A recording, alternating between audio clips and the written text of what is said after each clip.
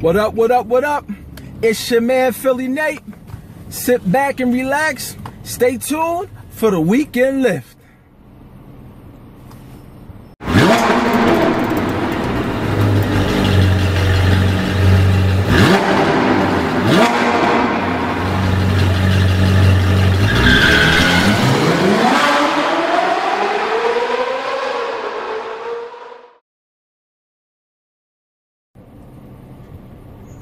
Welcome back, ladies and gents.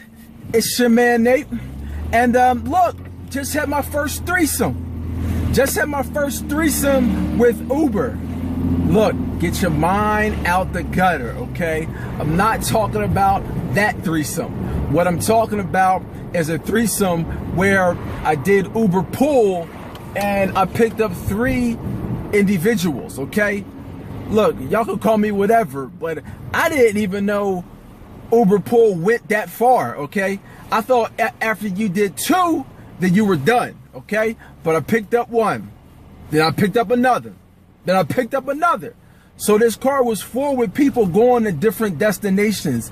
Now, if that happens, I can see Uber Pool being worth it because now you're getting three different fares, okay? But you kind of got to take the good with the bad with this Uber Pool because a lot of times you'll have only one person, okay? And if it's if and if you only do it one person, it's not worth it, man. So it's kind of a give or take. Uber pool right now, the way that I feel, it's a give and take. Okay, I try not to do Uber pools. I'm gonna just say that out the jump. I try not to do Uber pools. Okay, but if you have it where you got three individual fares, okay, I can see it being worth it. But if it's just one, it's not. Okay, um, so that's that.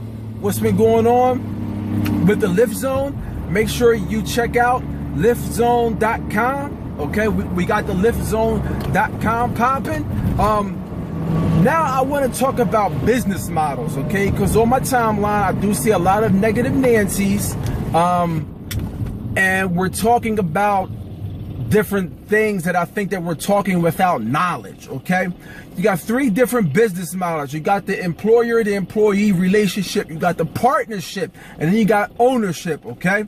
Now, the employee employer kind of deal, that's the safe place, okay? But that's the place where you're not going to make a whole lot of money. Yeah, there's physicians, um, there's different employees that make a lot of money, but number one, they're taxed the most out of all of these out of these genres okay?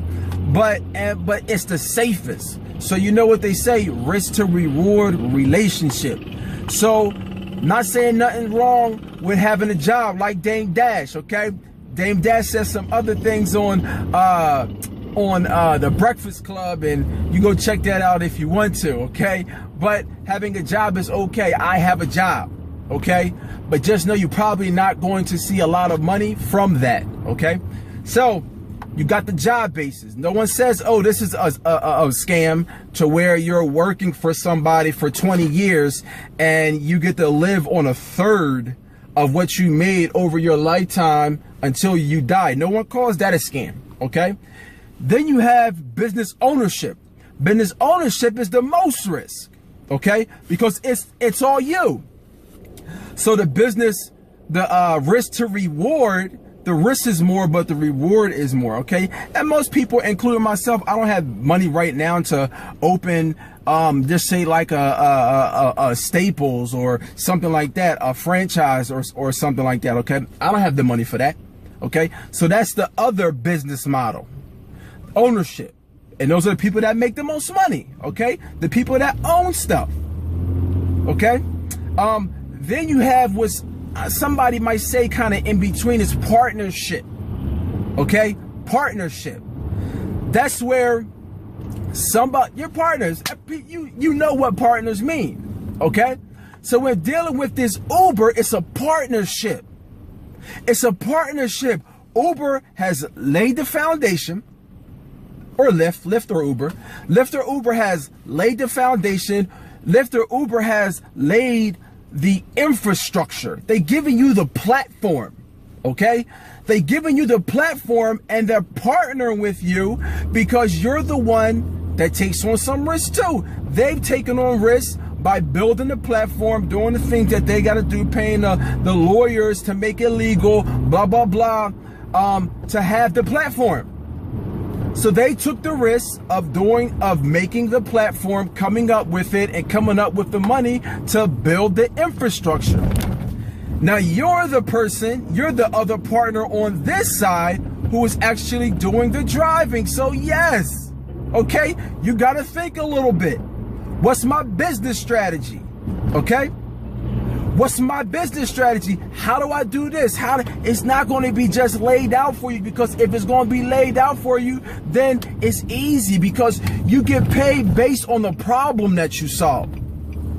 And if it's laid out for you, you can get anybody to do that, which means what? You're not going to get paid a whole lot. Okay? But with Uber and Lyft, or let's just say ride sharing, it's not laid out for you to say, okay, you drive right here and you'll get paid X amount. You drive right here and you're to get paid X amount. No, you got to figure it out. So when you figure it out, the people who, who have figured it out, they get paid. Okay? The people who don't figure it out say, oh, it's a scam. I turned on my car and I didn't get any hits. Ah. Ah, there's, there's money to be made out here. There's a lot of money to be made out here. But sitting up here crying about it ain't gonna get you paid. What's gonna get you paid is go to my um my Lyft Zone channel and watch the different videos and not just me type in uber type in ride sharing into uh youtube type in lyft and watch those videos learn learn because in most fields and this just isn't ride sharing the smartest person meaning what? The person who knows the most gets paid the most. I'm gonna say that for you for the people that missed it. The one who knows the most in most cases gets paid the most. And ride sharing is just like that okay? Because it's not just about driving. It's about more than driving. And and i've expressed this in some of my other videos. There's other business opportunities. Besides just driving there's referrals okay? Number one there is um as far as driving and as far as people signing up with uber or lyft it's a partnership okay when people get into your car, if you have other businesses, you have their captivated attention for 10 to 15 minutes on average. This is an advertisement, an advertiser's dream. You got to capitalize on the opportunities, man. This life is about opportunities.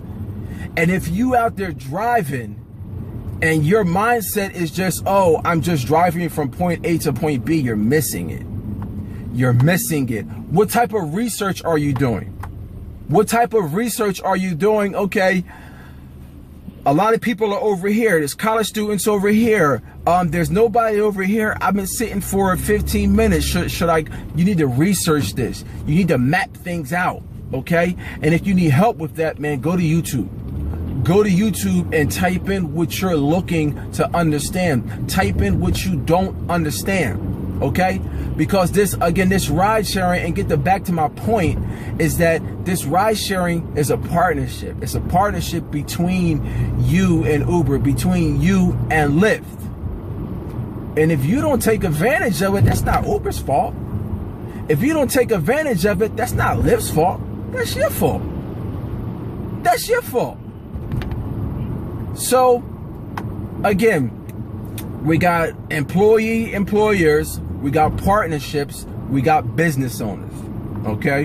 And yeah, it would be love if you owned. I bet you if you owned Uber, you wouldn't be calling it a scam. I bet you if you owned Lyft, you wouldn't be calling it a, a scam. You absolutely wouldn't. Okay? So don't hate on how other people get their they money, of course, if it's in a good way. Okay?